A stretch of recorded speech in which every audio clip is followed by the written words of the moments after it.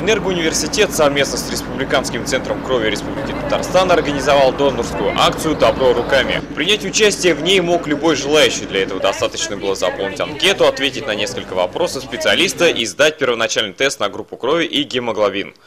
Также за 48 часов следует исключить из рациона алкоголь, а за 2 часа запрещено курить. В день сдачи можно кушать только кашу на воде, чай, сушки, мед, варенье и фрукты, за исключением бананов. Вся операция занимает около 10 минут. Далее ваш доступ проверит по единой базе данных, после чего пройдет вся основная процедура. А потом детям надо в больницу ложиться, анализы будут собирать.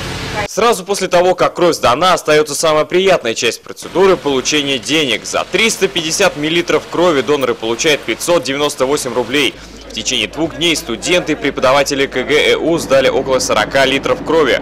Проверить свое здоровье и тем самым принести пользу обществу вы можете по адресу проспект Победы 85, телефон для предварительной записи 237 6900. Роман Даров, Алина Сибгатулина, Энерго ТВ специально для Универ Смотри.